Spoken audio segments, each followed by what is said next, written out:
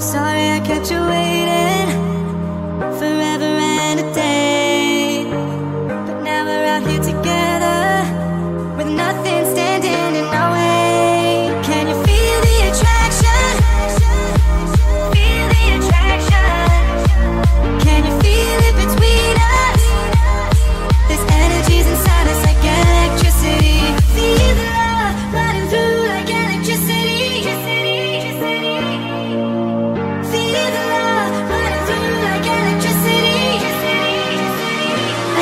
just